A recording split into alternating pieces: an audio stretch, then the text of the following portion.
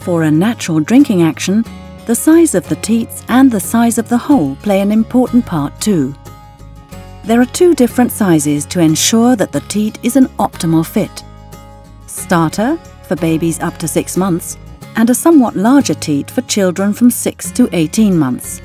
The amount of time spent drinking should always best suit the baby too, so there are different hole sizes for various foodstuffs. Size S has an extra small hole and is suitable for breast milk or tea.